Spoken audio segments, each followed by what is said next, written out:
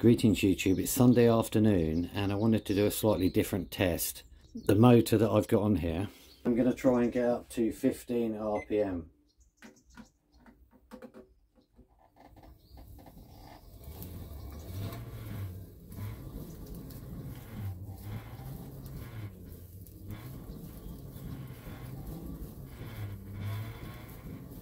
Right, so that's at 15 RPMs at the pedals.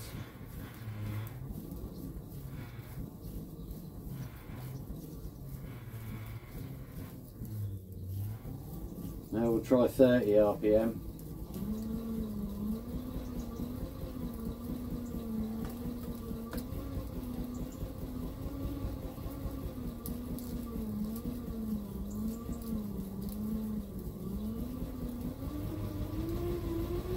That's about 60 RPM.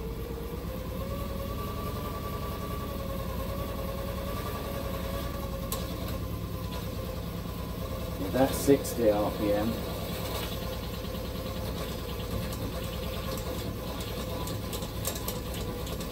It's making some very funny noises.